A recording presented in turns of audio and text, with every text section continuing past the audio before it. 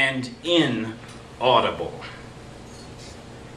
Every act of creation is an erasure, an abrasion, an anaphylactic shock and all hack job, a pleasure wrought of leisure, and an irrepressible need to blather on both with and without words.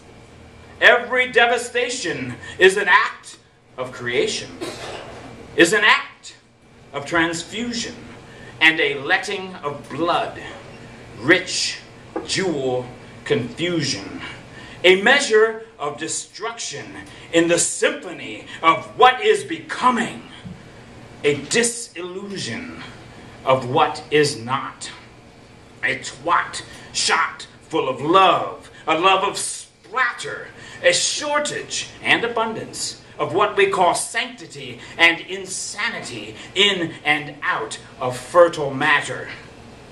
Every creation is an act of destruction and reproduction. A deconstruction of yesterday, but a recreation of tomorrow. An ablation sullied only by illusion.